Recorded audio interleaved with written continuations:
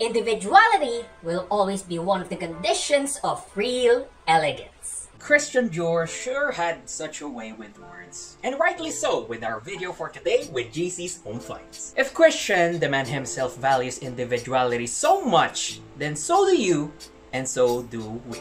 Even more so when you realize, like some other signature bag brands, Dior's himself also gets counterfeited many times on the market. That's why with the most of what we're doing with our series of uploaded videos on JC's Home Finds vlogs, today we'll be talking about how you could spot a fake Christian Dior bag. So sit back, relax, and learn.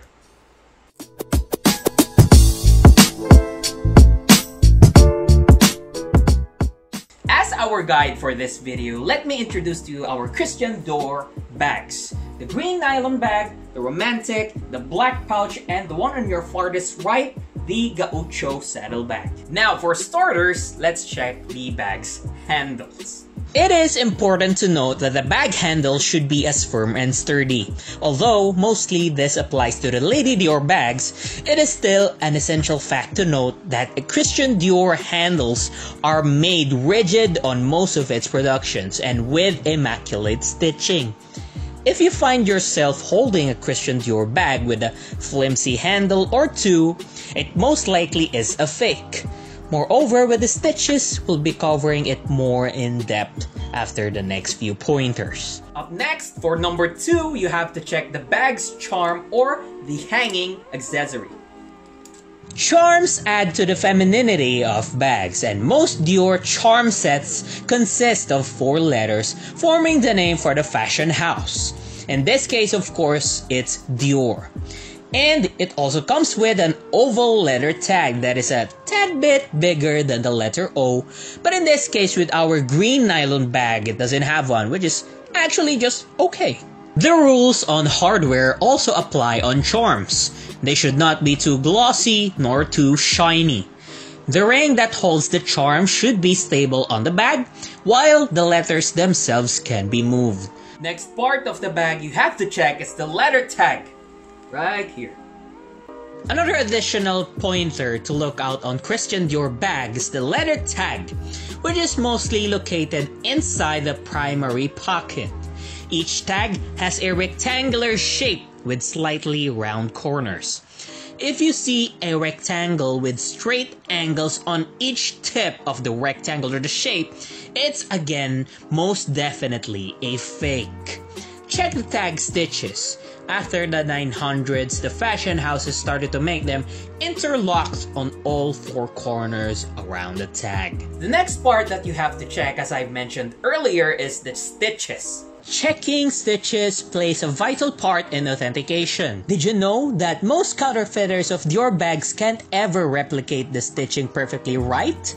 There will always be a mistake no matter how little it gets somewhere, and here are a few targets to keep an eye for. But wait again, before we get started with the next pointer, I would like to ask everyone to please like, share, and subscribe with JC's Home Finds vlogs to be updated and posted on uploads and contents. So what do fakes fail to copy with stitches again?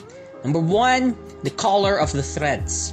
Each threads always match the leather or lining of the bag. They are the exact and same shade no matter what. Number two is the quality of the stitches. Already sounds redundant to be honest, but hastily done Dior bags would reveal itself already as a fake, with just a few crooked and uneven stitchings. Some threads will also stick out would be the biggest giveaway. Number 3, the pattern. Just like British craftsmanship, Dior's patterns has quite a strict attitude on every hem.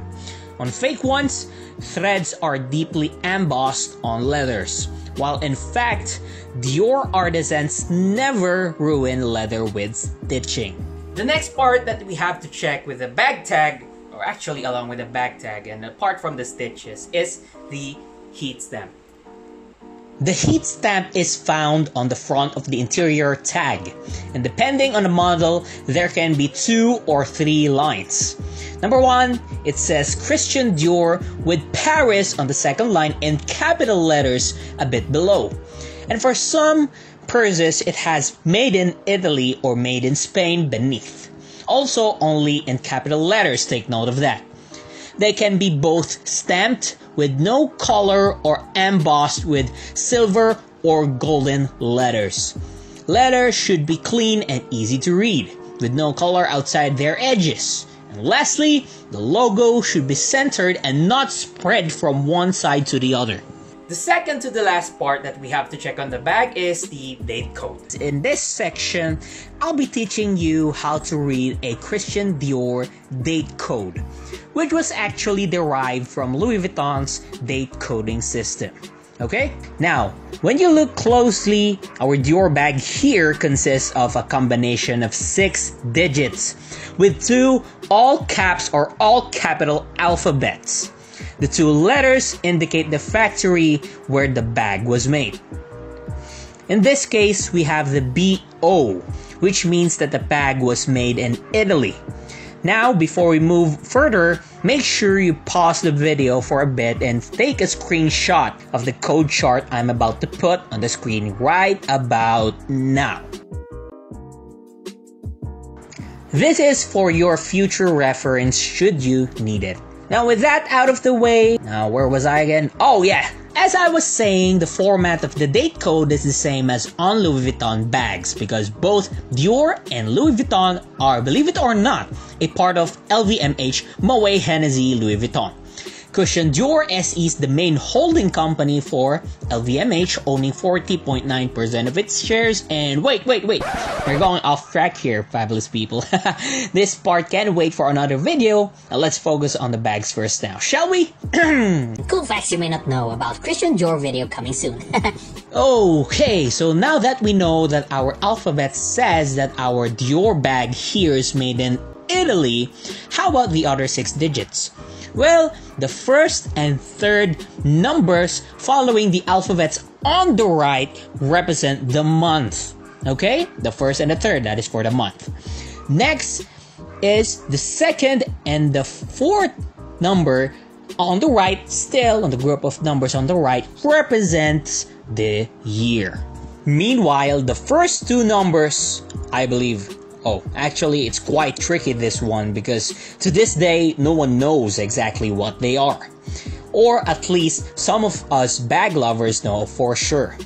However, based on a few blog posts I've checked and researched, the first two numbers indicate the date or week the bag was made. Last but most certainly not the least is we have to check the authenticity card. But the question is, does most Dior bags actually have their own authenticity cards? Short answer is yes, and the long answer is No. But you know what? Authenticity cards are really not that much of a dependable option in authenticating a Dior bag because they are every counterfeiter's wet dream. Wet dream. yeah, to replicate due to how easily they could be replicated and reproduced. So, my doctor's recommendation here is always pay attention to the quality of the bag itself rather than focusing solely on the authenticity card. And that is all for the bag parts that you have to check on a Dior bag. Now, if you're still having doubts, which is a natural occurrence, you can always ask the professionals or the bag doctors to check on your bags. Specifically us here in JC's Home Finds because we have our own and we are a Entrupy verified business. Well, that took quite a while again. But it's okay. What matters is at least 80% now you are sure and you had your facts set straight that you are happy with your Dior bags. After all, as Dior would put it, happiness is the secret to all beauty, for there is no beauty without happiness. And that's all for our video for today with JC's Home Finds Vlogs. Thank you so much once again for joining me with this video. I'll see you in the next one and stay fabulous as always. Meals ready!